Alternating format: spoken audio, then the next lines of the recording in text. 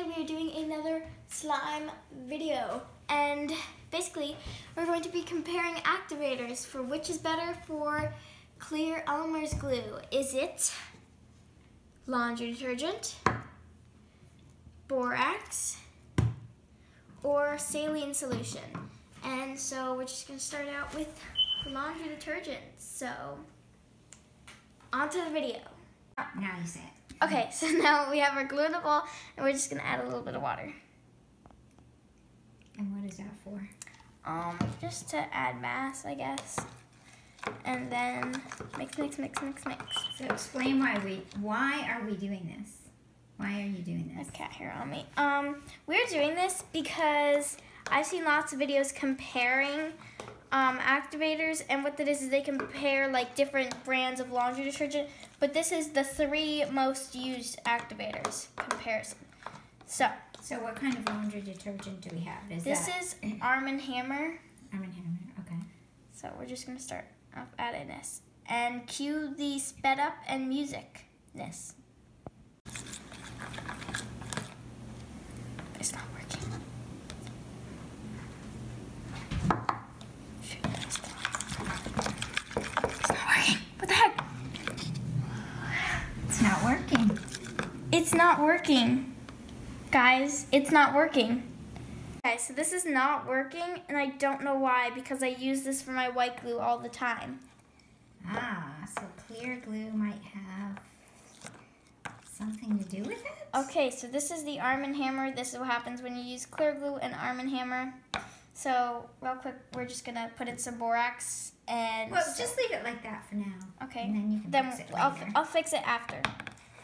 Okay, just put a tiny bit of water. It also makes it stretchier when you add water, so sorry, the beeping in the background.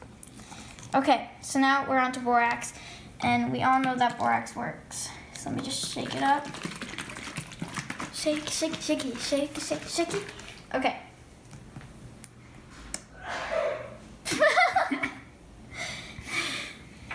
It's cold season. We are all sick. Okay. See, you can see it coming together. Mm-hmm. And I'm not gonna try that hard to not get bubbles in it because it's okay, it'll just clear out.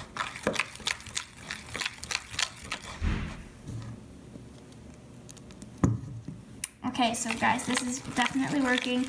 And usually I use borax for my clear slimes, so Now we know why. Yeah, because it works the best. Okay, now I'm gonna go in with my hands.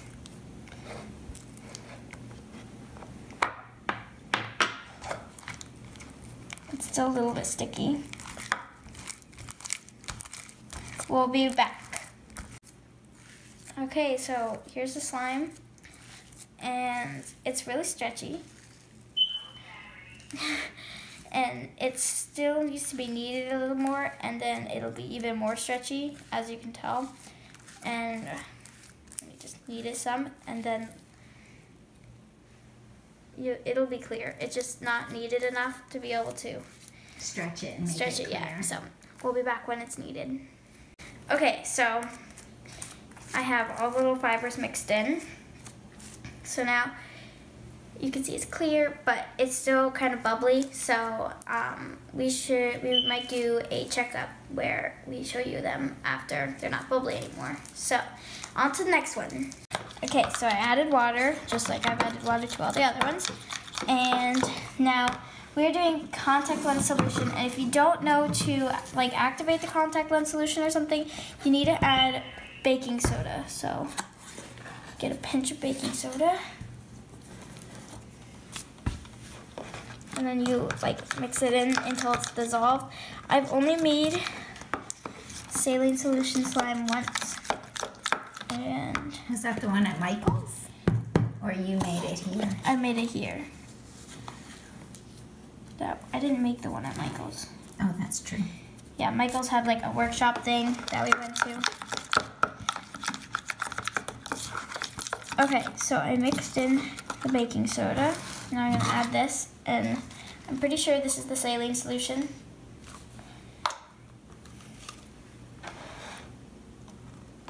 It's contact lens solution, whatever that is.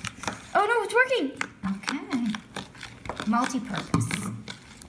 Do you see, guys? It's clumping up. Add some more.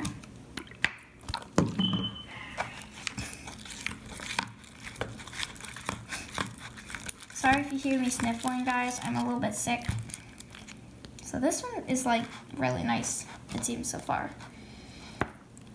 It's a lot. It's sticky. Okay, now I'm gonna go in with my hands. Oh, I don't know if I should make that mistake again, actually. Because last time I had to go wash my hands. Looks good. It doesn't.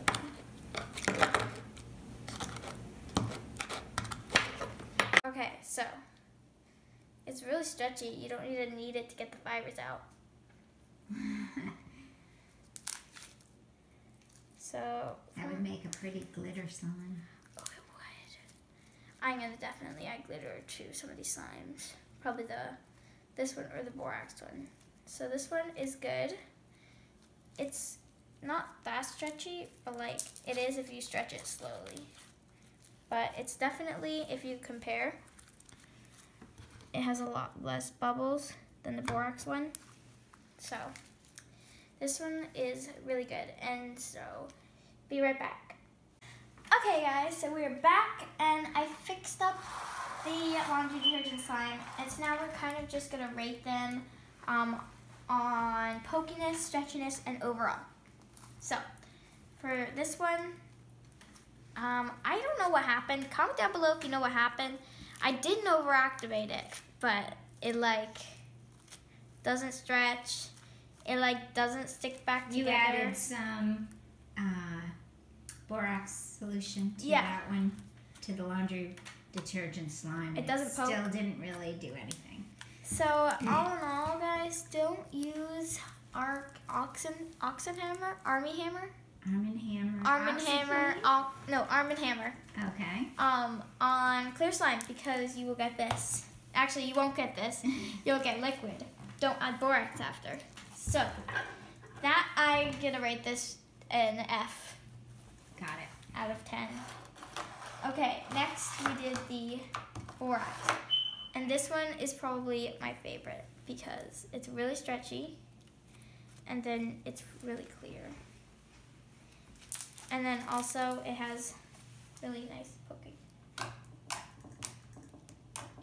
Definitely makes pokey sounds. Yeah, so I'm gonna give this a 9 out of 10. Very good. And then here's the contact lens solution one. This one is definitely clearer than the borax, but it's like not as stretchy. But if you stretch it, um, if you stretch it slowly, it's really clear. Mm-hmm. So this one, um, so yeah, it's You not, didn't do the pokiness. Oh right, it's not that stretchy as you can see.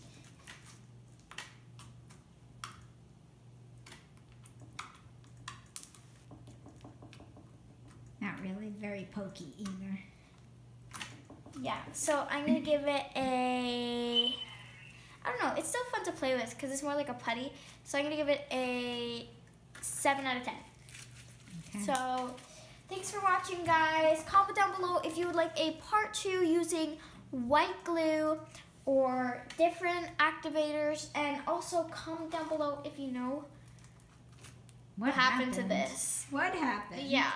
Bye, guys. Thanks for watching. Have a blessed day. Peace out.